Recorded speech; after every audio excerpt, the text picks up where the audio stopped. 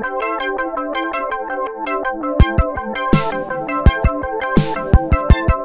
Mike, I'm Michael Condrey, Sledgehammer's co-founder and game director, and we are the makers of this year's Call of Duty, Call of Duty World War II. Awesome, awesome. Um, so, uh, what role did you have in uh, working on the storyline of the, the campaign mode? Uh, was that primarily your baby, or uh, were you uh, uh, more of like a kind of a supervisory role? Yeah, so this year we bring to life, you know, a Call of Duty World War II storyline that's been three years in the making from Sledgehammer Games, and we follow a squad in the First Infantry. Now it's an original story crafted at Sledgehammer Games that takes you from D-Day and really the beginning of the Allied push of the German force back to the liberation of France and beyond. So we're really excited for hands to get their hands on what's been really three years in the making for us. Awesome, awesome.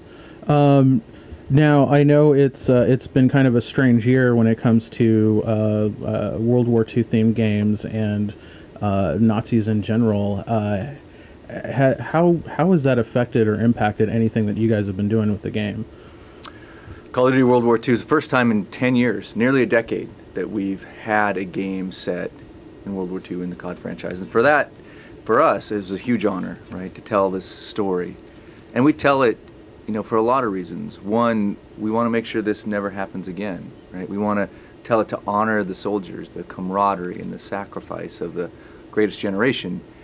And frankly, we tell the story because they're no longer here to tell it for themselves. So, as an inflection point in human history, uh, touched nearly every nation on the planet, nearly 100 million people perished. You know, it's an important story, and we're proud to bring it to life this year. Yeah, so so my grandfather actually fought in the war, and he's only recently started opening up about some of the things that happened to him. Um, did did you have a chance to speak to any vets uh, firsthand, and, and were any of their accounts part of? Did you roll it into the story, or or part of what you were doing? Yeah, we have spent an extensive amount of time researching World War II for this game, right? From going to the locations, boots on the ground, if you will, to meeting with veterans. And those stories are powerful, like your grandfather. Many of us have family members who were touched by the war that fought. Um, and like your grandfather, a lot of these stories haven't been told before. And what I've really enjoyed with the veterans is there's this humble sense about their sacrifice. They don't view themselves as heroes. They view the people around them. They view themselves in the company of heroes, but they themselves don't view their actions as heroic, which we know the conditions were incredible, right? They were outnumbered, they were outgunned, they were cold, they were hungry, they were tired, and they put their lives on the line to really push back, you know, the brink of tyranny. So, speaking with the veterans and hearing their stories and reading about what they went through has been really profound and powerful, and we hope that the campaign honors that. Awesome. Uh, so, switching to, to multiplayer for a moment. Um, uh, I noticed that uh, in multiplayer, I well, in previous Call of Duty uh, World War II themed games, and in other many other World War II themed games, um, uh, like I think Day of Defeat, um, which was a, a Half Life Two mod, comes to mind.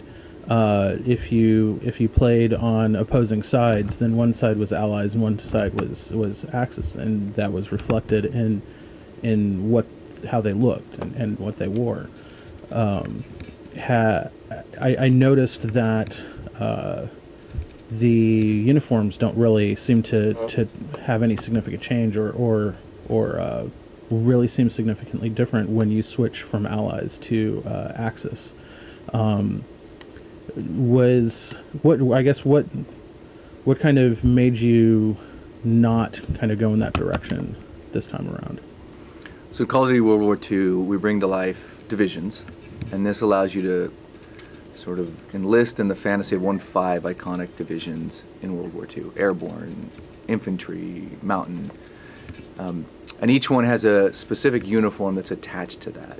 Now, as an allied force, you pick your division and you pick your look, and it's about putting you in the game. Mm-hmm. And so you may play as an allied paratrooper, and you will look like you as a paratrooper. But you're right. We have factions in the game, and that's part of Call of Duty, and that's part of the construct of the multiplayer experience. So you will play as the Axis side often. Um, now, when we put you on the Axis side, it's still you. It's still your character, your face, your representation of you as a person. But we'll put you in an Axis division that represents the division that you picked. So you will, in fact, be um, airborne Axis, Mhm. and you will look like um, the uniform of an Axis, perhaps a German. Um, but it's still your face. And then when you come back into headquarters, it's representing your ally enlistment. So your allied character is you, and it's you on the Axis side. And while you're playing on the Axis side, you're playing in authentic German or Axis uniforms that represent that faction. Um, but when you come back to headquarters, you play as your allied character. I guess uh, I guess maybe I should have worded it a little differently. It seems like you've toned down some of the Nazi regalia. Um, uh, I guess what what kind of led to that decision? Uh, because I know I've played other games in the past where they've just kind of rolled with it. Um, and and d- does that does it bother you that it kind of strays from the, the, the reality of it? one of the things that we really wrestled with um, throughout the course of development is how to bring authenticity to life in this conflict, how to represent the atrocities, represent the loss of life, um, and represent the Nazi iconography and the hate symbols that came with that in a way that honors the cause, right? That doesn't shy away from what was really happening, but doesn't glorify it either because there was a lot of life. So in the campaign, it, we took painstaking care to represent that part of the of the story, and uh, along with other Mhm. challenges, like you saw some of the racism with. Uh, uh, of the 40s represented on the Allied side, right? You saw the struggle with American Jews being captured. Those were really powerful moments, um, and it was a fine line to cross.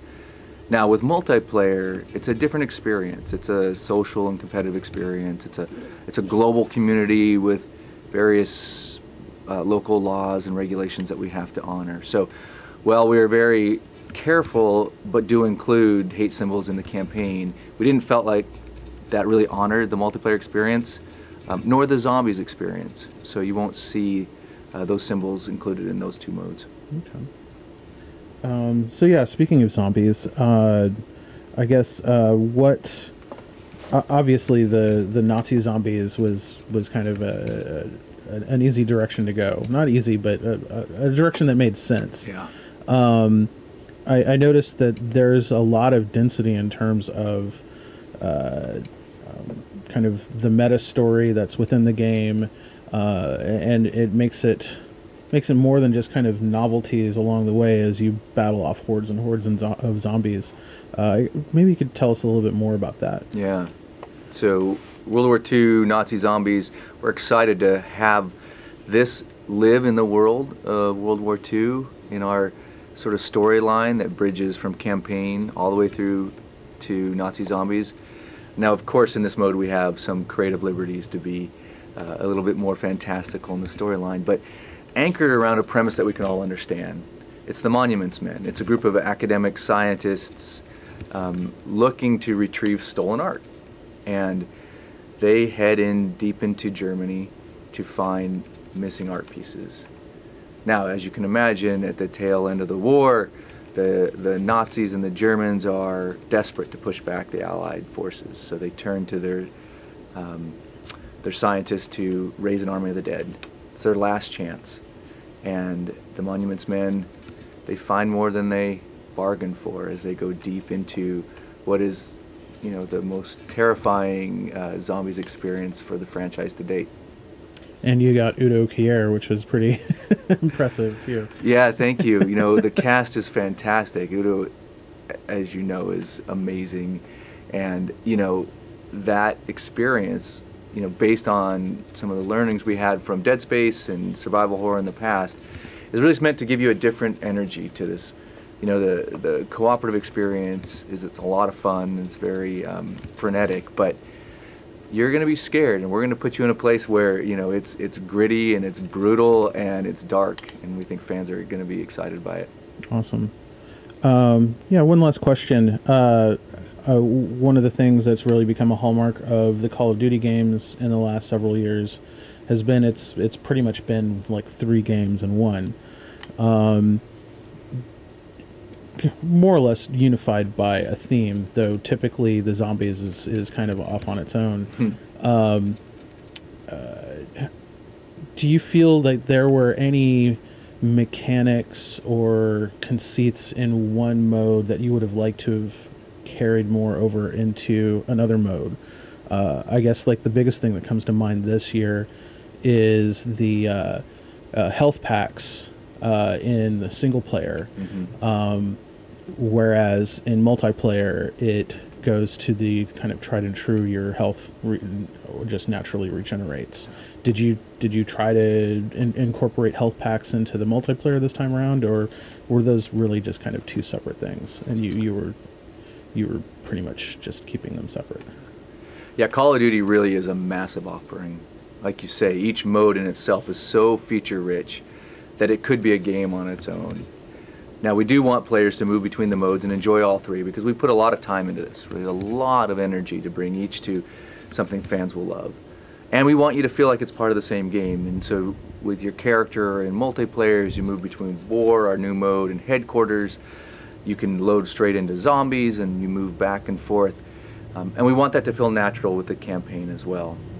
But each mode does offer something that's unique to itself that really, you know, lends itself to that experience being great. And in single player, as you mentioned, um, we did transform how you approach battle. And we wanted that to feel vulnerable and um, a little more in the spirit of what Call of Duty um, and World War II meant at the time, which is you don't run straight headfirst into battle like a tier one super soldier. You had to rely on your squad. Your, you had to rely on your medic. These were important parts of the war itself. Now in multiplayer that didn't really fit with us in the way that we wanted, um, nor in zombies as those experiences really are a little more high paced and frequent.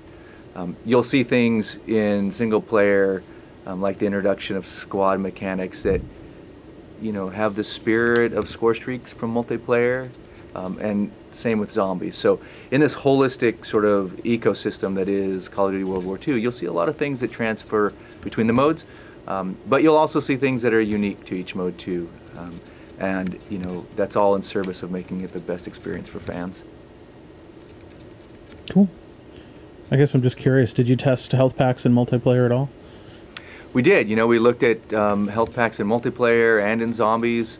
We obviously had auto health regen in single player in the beginning too, and we really were trying to offer an experience for each mode that made sense for the kind of energy and the fun that is uh, that, that is the hallmark of those modes. Cool. Awesome. All right. Well, thank you, sir. Thank you very much. It's been it. a real pleasure. All right. You have a good one. Yeah.